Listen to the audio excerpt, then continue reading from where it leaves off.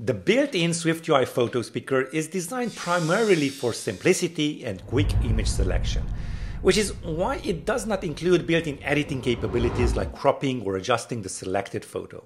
Apple intentionally keeps PhotosPicker lightweight to fit seamlessly into SwiftUI's declarative style without overwhelming developers with too many options. However, if you need to let users edit their images, you'll need a custom solution. In this video, I will show you step by step how to integrate UI image picker controller with editing enabled so you can offer a smooth, customizable photo editing experience right inside your SwiftUI app. And if you want to learn SwiftUI in just four weeks, go ahead and check out the discounted link in the description.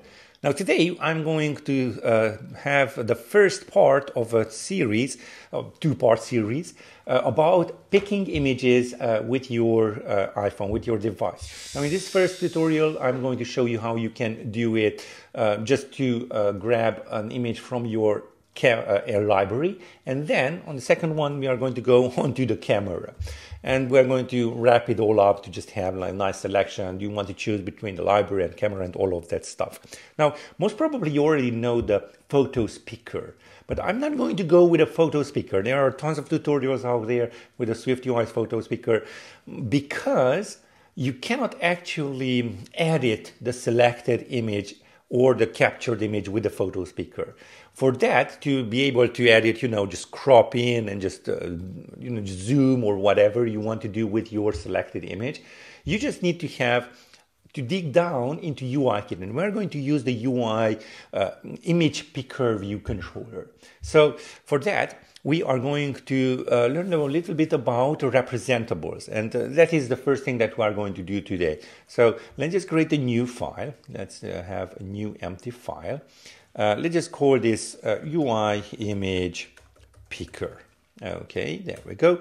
And uh, I'm going to import Swift UI and I'm going to create that struct. So struct and then UI image picker. And this will adhere to the UI image uh, UI view controller representable. There we go. UI view controller representable. Of course, now it's just suggesting some stuff, uh, which we're going. I'm just going to ignore it because uh, I just want to type it out uh, together with you.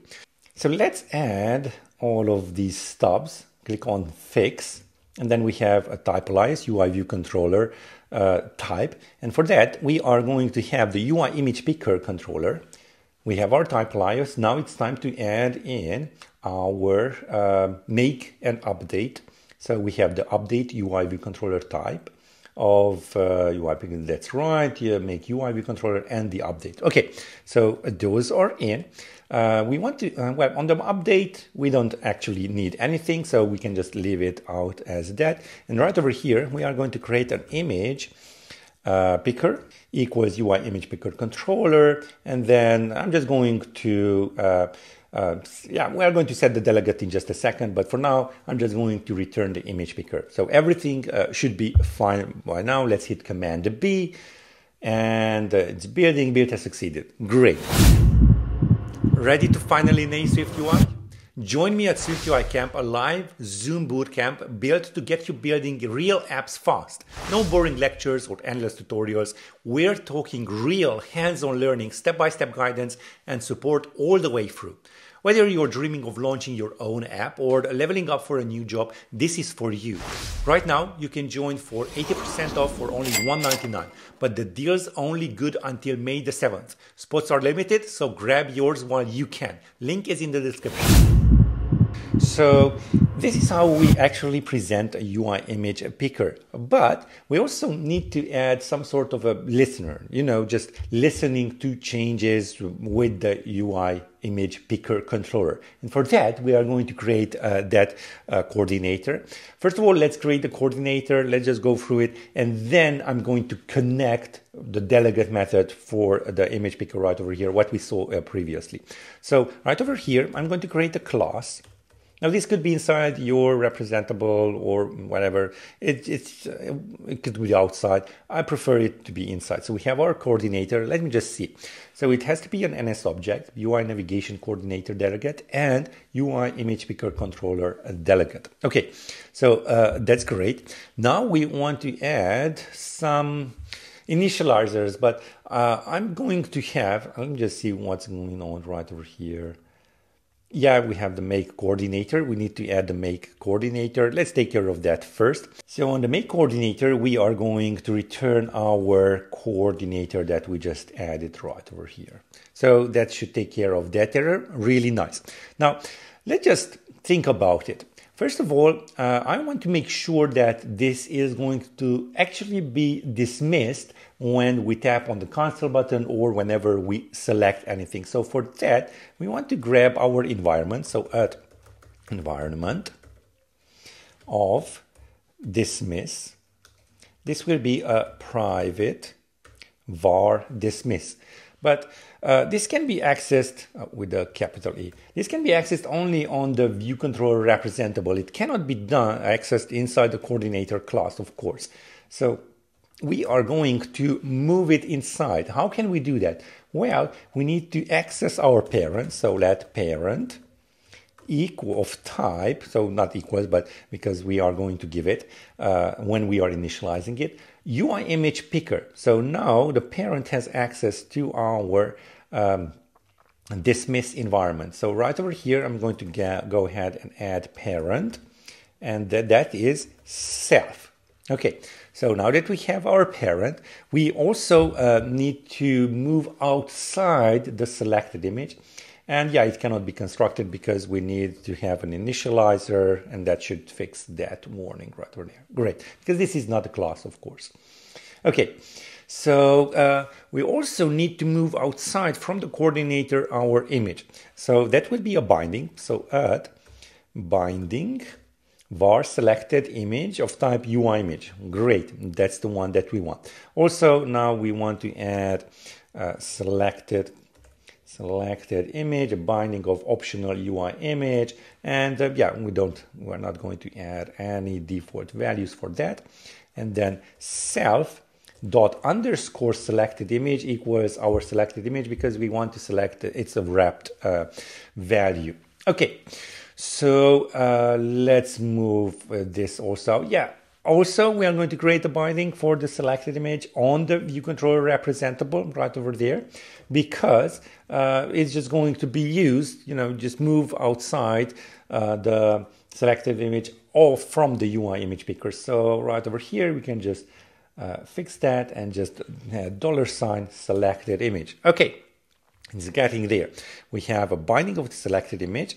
Now we want, want to listen to the delegate methods from the UI image picker controller. And uh, let's just take care of the cancellation action. Maybe you just tap on the cancel and just want to dismiss. And that is uh, the delegate method for that is the image uh, picker controller did cancel. And I'm just going to so say parent dot dismiss. It's just going to dismiss our sheet. You will see that we are going to present this in, inside the sheet. Now, if we do select uh, some images, we are going to be triggering the image picker controller picker did finish picking media with info. And uh, uh, the actual info has the image uh, data, so we want to uh, grab it. And for that, we want to say if let UI uh, image equals now info original image, yeah, that's perfectly fine. And then we're just going to have the selected image set to that UI image. And then, of course, we are just going to dismiss. AI is helping a really nice right over here. Okay, so uh, that's that. We have our dismissal, also the selection, and then on the parent, we are going to dismiss when we are selecting. Now, one thing to note right over here, remember when we tried to create our image picker right over here, it just suggested that we also add in our delegate. Okay, let's do that uh, equals. And it, what is the delegate? Well, it is the context coordinator, which is this class right over here. So now the delegate methods are all connected to our uh, make UI view controller image picker right over here. Okay, it's all set up, but this is being done by the uh, uh, default Swift UI uh, PhotosPicker already. Remember, I told you we want to have some sort of an editing mode. And for that, we just need to add another property on the image picker. Yes, allows editing. And we want to set that to true, which is really, really nice. Okay. Uh, one other thing that uh, I'm going to add right over here, which is basically optional because it starts off with that, is that uh, we are going to select only images. So we should be able to select uh, only images. In this case, it's a UI image picker. We don't care about the videos and uh, all the other stuff. So for that, I'm going to add right over here some more properties, image picker, media types, public.image. Yeah, it's just guessing my mind. And then image picker dot source type, the photo library. Exactly. Now, I just added uh, this right over here because I'm kind of foreshadowing my next video on this tutorial uh, series. And that is currently with this one, we can just select an image from our photo library. What we are going to do next time is that we are going to also allow the camera to be, uh, you know, just picking some, um, uh, you know, just taking some images and just using those. So now let's just see how this looks like. Let's just go into the content view and we are going to actually create a button. So right over here, let's create a, a button and then let's just have, yeah, pick an image is just fine. Uh, for now, we are all, yeah, mm, let's just use the one with the button and action and label because we are going to take it uh, for the next step uh, later on. So for now, we are going to have a text of pick image. Pick image, that's perfectly fine. And then we are going to have um, selected image at binding var selected image. Okay, uh, that's great. And also, uh, let's just remove the preview right over here. We are going to have a state variable of showing this as a sheet. So at state, yeah, it's uh, uh, suggesting really nicely. So at uh, is showing image picker bool set to false. By the way, this should be not a binding, but a state private var selected image. Okay, so we are just going to toggle it. it. Is showing picker image. That's great. And then we want to show this inside a sheet. So let's just have a dot and sheet is presented with the content. Yes, that's fine. And then the content will be the image picker. Well, actually the UI image picker, UI image picker with the selected image. We're just going to bind it. And uh, yeah, I think there's a typo right over here from AI. Great. Okay, so now we are going to present it. And also, please know that uh, this will just cut it off at the um, safe area uh, guidelines. So we are just going to have uses, uh, let's just see, safe area, uh, ignore safe area. That's right. So we want to ignore the safe area on the sheet. So now let's just build and run and test it out. Test succeeded, which is always a good sign. Okay, let's just click on pick image and we should see the, yeah, there we go. Uh, we just selected one and then if we select any of these, we may crop. So if I hold down option, there we go. I can just zoom in and just move it around. This is the end. This is what we wanted. This is not possible with uh, the Swift UI PhotosPicker. And then let's just choose and for some reason it crashed. I don't know why, but uh, trust me, it's it's just going to go into the selected image. And let's just test this out. I'm just going to have an image. So if the selected image is uh, is there, so let's just do it like so. So if selected image, so it's not nil, then I'm going to resize the scale. Yeah, this is fine. This is great. So let's just do this. Scale to fit pick image. Just pick one of our images and let's just scale it. There we go. And then just move it around maybe. Let's just choose it. There we go. We have our image, but we have the whole image. We have the original image. So I did this intentionally because uh, most probably you are going to go into this trap also. Let's just go back and uh, take a look at how we are handling the selection of the image. Remember we have this original image. So we want the edited image if it's available. So let me just copy this out and then um, let's just have an else and paste it in there. Uh, if we have an edited image, then use that if we don't have an edited image, then use the original image. Of course, that also has to be available.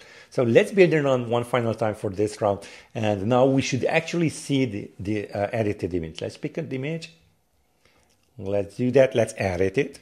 So there we go, option and just hold it and maybe just move it around and then let's just choose it. And there we go. Now we have the actual edited image, which is really, really nice. We don't have this in Swift UI.